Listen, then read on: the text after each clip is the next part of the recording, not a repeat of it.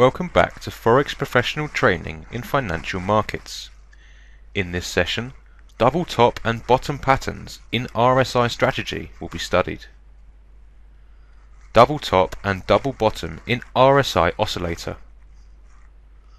RSI value can be set on 14, while two levels are adjusted on 30 and 70.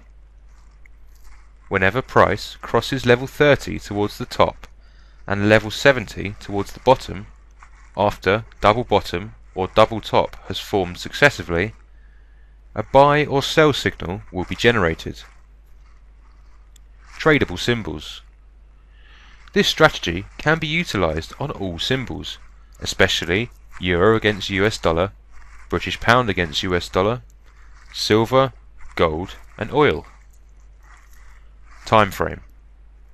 Although this strategy can be used in all time frames, a more suitable result and signals will be made in H4, daily and longer time frames.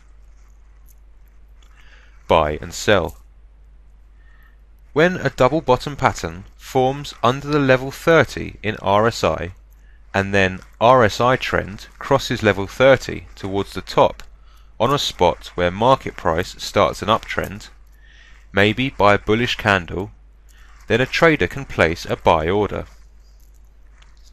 When a double top pattern forms above the level 70 in RSI, and then RSI trend crosses level 70 towards the bottom on a spot where market price starts a downtrend, maybe by a bearish candle, then a trader can place a sell order.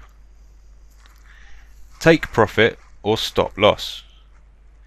Take profit price can be determined by, firstly, the available reversal pattern in a market price on the spot where RSI line crosses level 30 towards the top or level 70 towards the bottom.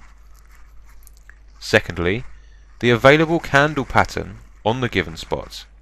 TP amount equals the length of a candle. And thirdly, whenever RSI trend touches level 50. Stop loss can be specified by a candle or a reversal pattern on a market chart. This strategy will generate a suitable and sound signal when it is combined with reversal patterns and candles, especially on H1 and longer time frames.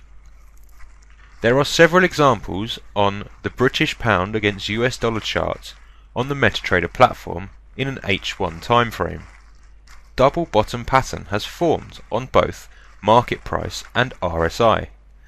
Thus, as RSI has crossed level 30 towards the top, a trader could place a buy order with certain TP and SL prices that could be calculated by a double bottom pattern of the market price.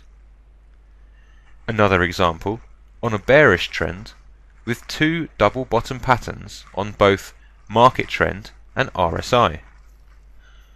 After RSI trend has crossed level 30, the market trend moved upwards from the breakout point. At the end of a bullish trend, double top patterns have formed on the market trend and RSI simultaneously, followed by a downward trend. Another double top pattern on an upward trend, where a double top pattern has formed on RSI too. After RSI trend has passed level 70, a downward trend move towards the bottom. That concludes this session. Until next time and another session, take care.